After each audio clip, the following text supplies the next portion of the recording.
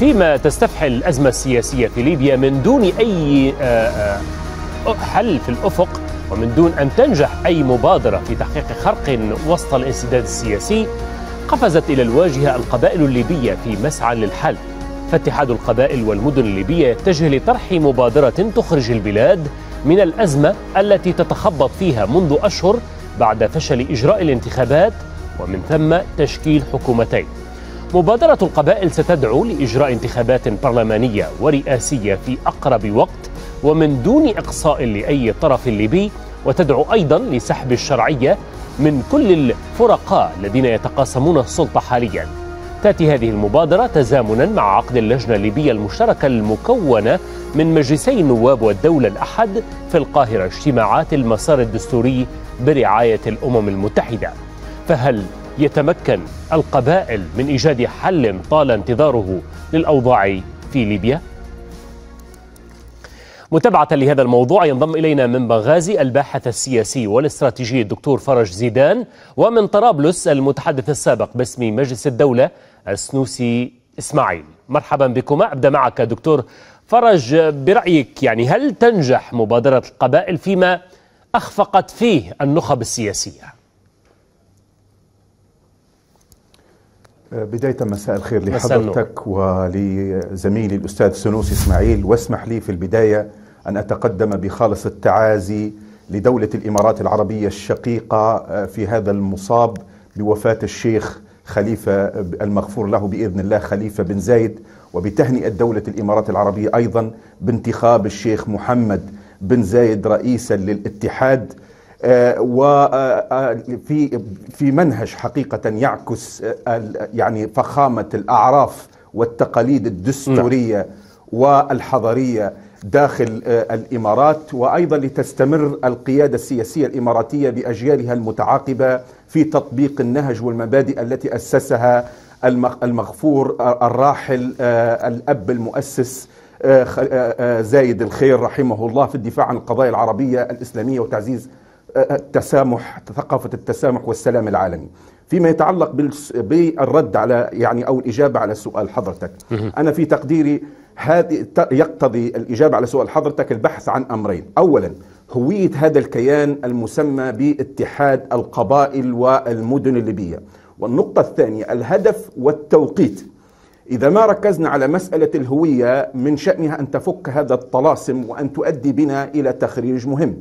هذا الاتحاد من الناحية التاريخية أنشئ في فترة يعني النظام السابق في فترة العقيد الراحل معمر القذافي. وهو يتكون من مجموعة من الداعمين لتوجه سيف الإسلام معمر القذافي بدءا من رئيس هذا الاتحاد السيد طاهر العشيبي أو حتى مستشاره للشؤون الخارجية السيد خالد الغويل أو حتى أمين سره السيد ميلود الجازوي. الآن نحن نتابع تحركات هذا الاتحاد من فترة.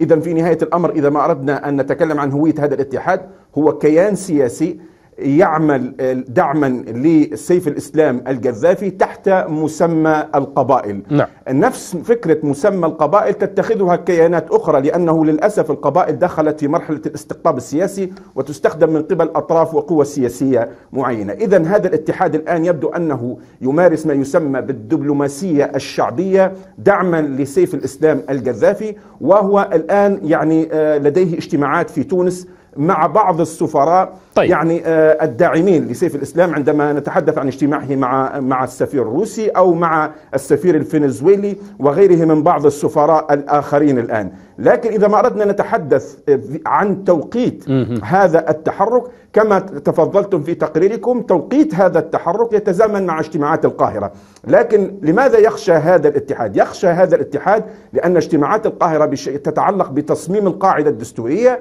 ويخشى هذا الاتحاد من أن هذه القاعدة الدستورية ستتضمن شروط ستبعد سيف الإسلام من السباق الانتخابي وزاد من تخوف هذا الاتحاد هو خروج السفير الأمريكي عبر بعض القنوات الفضائية الليبية في إجابته على سؤال المحاور الليبي. رد السفير الأمريكي قال بأن تقدم سيف الإسلام للانتخابات سيشكل قنبلة موقوتة داخل الغرفة لتفجير العملية الانتخابية. ومن هنا نفسر نحن آه، ماهية هذا الاتحاد والهدف من هذا التحرك. طيب. سيد سنوسي ما رأيك يعني الاتحاد يطرح فكرة سحب الشرعية عن الأجسام آه، السياسية التي تتقاسم السلطة آه، حاليا؟ هل برأيك تبدو آه، هذه الأمور بالسهولة التي يتصورها الاتحاد؟ تحية لكم طيبة ولضيفك السيد دكتور زدان وكذلك لكل السادة المشاهدين. وأيضا آه، يعني أتقدم باحر التعازي إلى دولة الإمارات آه، حكومة وشعبا في وفاة المغفور له بإذن الله الشيخ خليفة بن زايد. ونتمنى التوفيق آه، تحت القيادة الجديدة بقيادة الشيخ محمد بن زايد لتكون الإمارات يعني على الأقل بالنسبة لنا نحن كليبيين أن تسهم في دعم العملية السياسية الجارية في ليبيا وأن تكون يعني آه، الأمور يعني أفضل الفترة القادمة إن شاء الله في الإمارات وليبيا. آه، طبعا بالنسبة لي آه، هذا ال هذا لنقل التحرك أو هذا البيان هو في نهاية المطاف دائما مسألة القبائل هناك إشكالية في فيما يتعلق بمسألة القبائل. طبعا بدون شك القبائل الليبية محترمة في ليبيا ولها وزنها واحترامها لكن أتصور بأن هذا الأمر من الناحية الاجتماعية. لكن الناحية السياسية دائما عندما يكون هناك آه، تدخل أو تداخل في العمل الاجتماعي القبلي آه، مع ما يحصل من عملية سياسية يحصل آه، يعني تحصل إشكاليات ولا أعتقد ولا أعتقد بأن بأن هذه الحلول أو هذه المقترحات يمكن أول يمكن أن تأخذ طريقها للتنفيذ هذا لا يمكن طبعا. أو أنها مثلا تؤثر في الأطراف السياسية الموجودة. لأن الخلاف السياسي آه، يحل سياسيا بمعنى أننا نتحدث هنا عن توحيد مؤسسات الدولة عن آه، يعني توحيد الفرقاء الذين كانوا يتقاتلون والآن أصبحت هناك تحالفات جديدة وإلى آخره. آه، ولكن طال الأمر هذا يعني سيد سنوسي إسماعيل. وبالتالي الا يفتح الباب لجهات أخرى غير الجهات المأزومة التي لم تجد أي حلول سياسية. يعني ألا يمكن للقبيلة أن تلعب دور في هذا الإطار؟ أعتقد بأن ال ال يعني القبيلة ممثلة في مشايخ القبائل أو في هذه المجالس. هذا هذا هو ليس المجلس الوحيد على فكرة هناك الكثير من المجالس آه، القبلية في مختلف أنحاء ليبيا. هذه المجالس أو هذه المشايخ ربما يكون لهم دور كما ذكرت لك في المصالحة شريطة أن يكون هناك حل سياسي بمعنى توحيد مؤسسات الدولة بناء مظلة. مظلة الدولة ضرورية جدا في ليبيا لأن الآن نفتقدها كثيرا. لذلك جهود المصالحة برغم أنها جهود طيبة وحلت الكثير من المشاكل وأطفت الكثير من النيران في ليبيا لكنها لم تنجح في أن تجري مصالحة وطنية شاملة. لماذا؟ ليس العيب في شيوخ القبائل ولا في قدرتهم على إجراء المصالحة وإنما العيب هو في أنه لا توجد دولة بمعنى يعني آه، أدوات دولة تملك أدوات قوية لكي تنفذ آه، ما تتطلبه المصالحة سواء من رعاية موضوع الجبر الضرر سواء آه، التقريب آه، يعني بين الأطراف السياسية من أجل يعني آه، يعني إبعاد الشقاق لنقل عن الأطراف السياسية وكذلك توحيد مؤسسات الدولة من أجل مثلا منع التدخلات الأجنبية من أجل إخراج المرتزقة الموجودين في في كثير من المناطق الليبية. يعني هذه كلها مسائل سياسية صرفة السادة المشايخ والفضلاء وإلى آخره. هم يعني بكل تأكيد لا تنقصهم النية الحسنة نعم. ولا ينقصهم حتى الجهد الطيب في إجراء المصالحة البينية بين بعض الأطراف حينما يكون هناك بينها قتال أو صراع أو ما شابه لكن حل سياسي على مستوى الدولة أعتقد بأن هذا من الصعب بدون أن يكون هناك طيب. حل سياسي بين الفرقاء أطراف الصراع لابد أن تكون يعني مندمجة وتسير في حل واحد يتجه إلى بناء مظلة الدولة دكتور فرج ذكرت نقطة مهمة وهي الهدف والتوقيت من هذه التحركات لاتحاد القبائل. ونتحدث هنا عن اجتماعات القاهرة. بأي اتجاه يمكن أن يؤثر هذا التحرك على اجتماعات مجلسي الدولة والنواب؟ لا أنا في تقديري بأنها لن يؤثر. هو هو غايته كما قلت لك هي إيصال رسالة جوابية للأطراف الذين يجتمعون في القاهرة وأكثر شيء هو رسالة, رسالة جوابية للولايات المتحدة الأمريكية لأن الولايات المتحدة الأمريكية عبر مستوياتها السياسية المختلفة عندما نتحدث عن تصريح نائب وزير الخارجية الأمريكي لشؤون الشرق الأدنى جو يهود عندما تحدث في السابق وتكلم عن مسألة آه، فكرة أنه من الصعب جدا أن يتم قبول آه، مترشح رئاسي مطلوب من قبل المحكمة الجنايات الدولية. السفير الأمريكي أكد هذه المسألة من يومين. مندوب الولايات المتحدة الأمريكية في مجلس الأمن استخدم هذه المسألة ويعني آه، آه، كرر عبارات قبل في يعني البدء في مسألة يعني إعلان عن الترشح بضرورة المطالبة بالقبض على سيف الإسلام القذافي وعبد الله السنوسي وقيادات أخرى. ولكن واشنطن ليست اسمح لي دكتور فرج لكن واشنطن ليست اللاعب الوحيد في ليبيا. لا ليست اللاعب الوحيد لكن هي متقدمة إلى حد ما في الملف الليبي. يجب أن نعترف بذلك الأمر. وتعمل الولايات المتحدة على مسارات ثلاث. المسار الاقتصادي وفيه مصرف ليبيا المركزي وتدرك الآن بأن بيانات السفارة الأمريكية حول حوكمة مصرف ليبيا المركزي والضغط على الصديق الكبير لعدم صرف أي أموال لدبيبة لاستخدامها في إطار الأهداف السياسية أو لأهداف تضر بالأمن القومي الليبي. أيضا واشنطن تعمل على المسار الأمني من خلال مسألة إخراج المرتزقة من جميع الجهات. إذا يجب أن نعترف بأنها ليست هي الوحيدة ولكنها متقدمة في هذا المجال وتعمل بتنسيق مع مختلف الأطراف المتدخلة في الشأن يعني اللاعبة في الشأن الليبي عندما آه، لديها تنسيق آه، تام وقوي مع جمهورية مصر العربية مع الإمارات العربية المتحدة مع المملكة العربية السعودية مع تركيا مع غيرها من الأطراف الأخرى. إذا آه، إذا ما نحن الآن يعني وضعنا هذه طيب. التصريحات وهذه البيان الذي صادر من يعني الذي جاء في هذا التوقيت مع مؤتمر آه، أو الاجتماع الذي يحدث في آه، القاهرة وتصريحات السفير الأمريكي وأنا أعتقد بأن هناك بيان للاتحاد. البيان الاتحاد كان له بيان من يومين يدين فيه تصريحات السفير الأمريكي ويعتبر ما يحصل في في مصر هو تصميم قاعدة دستورية من شأنها إقصاء آه، المترشح الرئاسي سيف الإسلام. اذا طيب. نعود ونكرر بأن هذا الآن هو تكتل سياسي يعمل تحت مسمى القبائل. لكن الإشكالية الآن هي تصريحات آه، قادة هذا يعني الاتحاد اتحاد القبائل الآن عندما يتحدثون عن مسألة اللجوء إلى التصعيد العسكري. مم. أنا يعني بحثت ويعني يعني لدي داتا كبيرة جدا عن هذا التكتل الآن عندما يقولون إذا لم يعني يتم دخول سيف الإسلام سنقوم بعملية التصعيد ولو باستخدام العمليات العسكرية وندرك بأن سيف الإسلام لديه جناح مسلح مسلح يسمى بالجناح المقاومة آه، طيب. الشعبية آه، أيضا هذا التكتل الآن يعني الآن يبدو أنه يستخدم عبارات مع طيف من الليبيين الذين لازالوا إلى الآن هذه نقطة مهمة يعني دكتور آه، فرج يسيرون في نهج ثورة فبراير نعم نعم؟ سيد سيد سنوس إسماعيل نقطة مهمة تثيرها يعني هذا الامتعاض من الإقصاء والتهميش الذي يشعر به اتحاد القبائل. ألا يمكن أن يرخي بظلاله على المشهد الليبي وبالتالي تفجر الوضع بشكل أو بآخر؟ ألا يفترض على الفرقاء السياسيين أخذ وجهة نظره بعين الاعتبار؟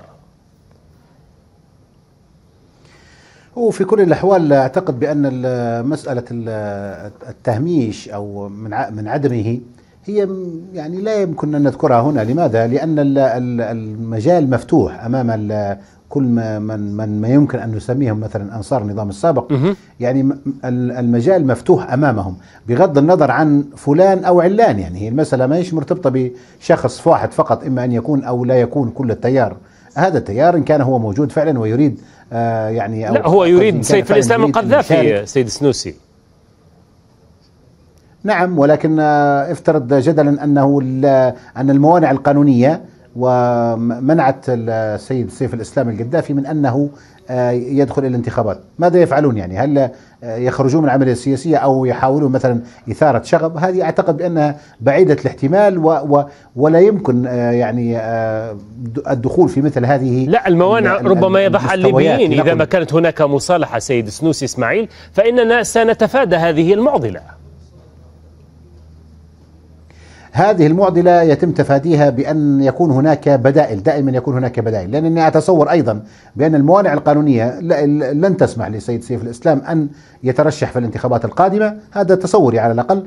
وأعتقد بأن كما ذكر يعني الانتخابات الماضية ألغيت من أجل من أجله يعني هو ذاته. فلذلك من الصعب الحقيقة ربما أن, أن, أن أتصور أن الأمور تقف على شخص. يعني لابد أن يكون هناك بدائل إن كان هناك فعل رغبة حقيقية في آه، المشاركة في أي عملية سياسية قادمة وهي قادمة بلا شك يعني ولكن تأخرت بسبب يعني كثير من الأسباب. لنقل سواء كانت سياسية أو أمنية واقتصادية وإلى آخره ونتيجة يعني بعض طيب. القوى القاهرة التي وقعت على المفوضية وهناك أسباب أخرى طبعا. لكن المهم أنني أتصور بأن آه، آه، النية في المشاركة هي الاختبار الحقيقي.